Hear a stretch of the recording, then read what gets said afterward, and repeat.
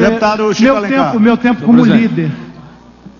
O senhor é, vai. é cabível, sem dúvida. Encaminha, E Vossa Excelência, É só é, para trazer alguns argumentos. eu- depois, claro. O senhor não acha que cinco minutos é mais que suficiente? Como Presidente, vamos para a votação, senhor presidente, presidente. vamos para a votação, senhor Presidente. Não, Não, o deputado tem que encaminhar contra o requerimento regimental, por favor. Mas Vossa Excelência, votação. Vossa Excelência tem cinco minutos. Presidente, o líder não fala uma vez na sessão, presidente? Todo, regimentalmente falando? Sim, eu não falei Ele como não líder falou como líder, Por uma deputado questão Ronaldo. só- Nós estamos postergando. Deputado Chico Alencar com a palavra. Pois é, Só questão de às vezes, os que mais ajudam a nossa obstrução são os que a ela se opõem. Tem que ficar esperto, rapaziada. Olha, eu entendo que o próprio processo de debate aqui, que está ocorrendo há uma hora e meia mais ou menos, mostrou como devemos prosseguir nesse debate. E, sinceramente, já falei com o próprio presidente, nós sabemos que a maioria aqui vai se manifestar amanhã ou semana que vem pela admissibilidade, o que é um erro, e eu espero, pela admissibilidade, que isso não significa aprovar a PEC.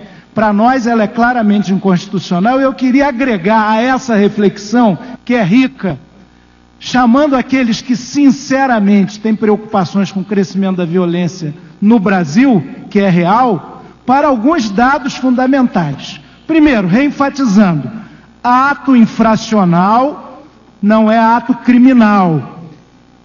Imputabil- Imputabilidade não é impunidade. O Brasil é um dos países que tem menor idade para o ato infracional, 12 anos. Segundo lugar, menos de meio por cento, meio por cento da população de 21 milhões de crianças e jovens até 18 anos, entre 12 e 18 anos, teve alguma infração, alguma situação de conflito com a lei. Portanto, não vamos magnificar o que é residual, ainda que trágico.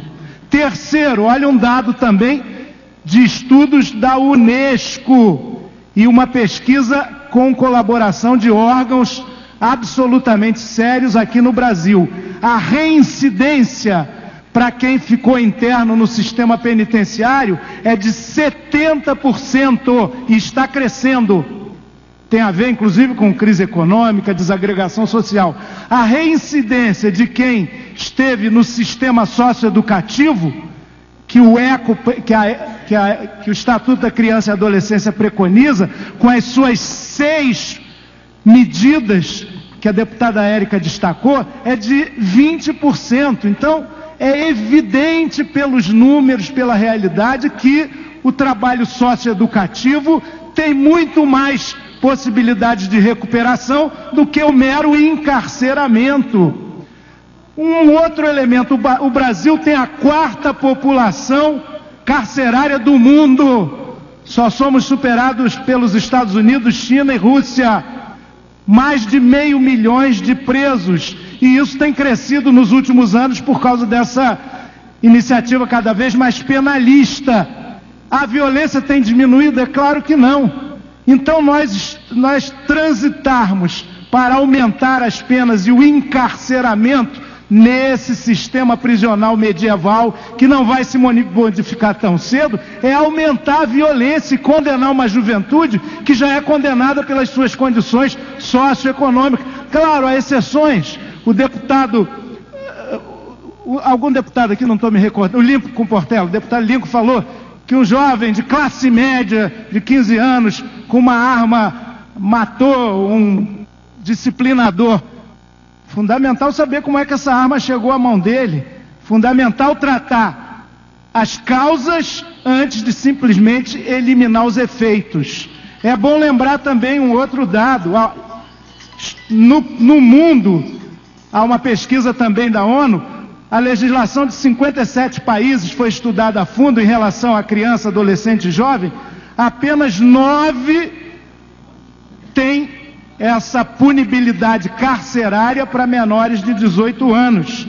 Isso significa que a gente estaria indo numa contramão da tendência, sem prejuízo de toda a argumentação das cláusulas pétreas da Constituição, do artigo 227, quer se modificar o 228, mas o que o precede dá o escopo do dever da sociedade, da família e do Estado, prioridade absoluta à educação, cuidado, amparo da criança e do adolescente. Meu amigo deputado Marcos Rogério, Leonel Brizola, de quem divergi muito, embora tenha votado nele para governador em 82, obrigado, ficaria deputado. escandalizado com a sua divergência dentro do Partido Democrático Trabalhista. Concedo pelo prazo de um Sem minuto. dúvida. Concedo. Tenho certeza absoluta. Muito obrigado. Tenho certeza absoluta. Concedo, concedo. É, tá deputado, certo. deputado. Tá. Concedo, Tá. concedo pelo prazo de um minuto para orientação de bancada.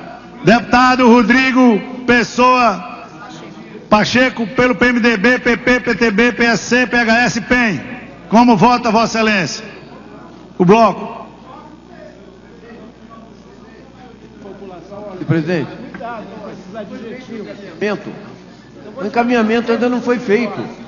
Foi feito O encaminhamento a favor. O Deputado, deputado Ivan Valente, deputado Marcos Rogério encaminhou a favor, deputado Chico Não, encaminhou Chico contra. Alencar usou o tempo Não, eu de dei líder. cinco minutos de encaminhamento. Mas é o tempo de líder Não, o dele. tempo de líder são três minutos. Não, eu dei o tempo, Excelência deputado Valente, então, por favor, Vossa dele era Excelência. de líder. Muito obrigado. O tempo muito dele obrigado, foi de líder.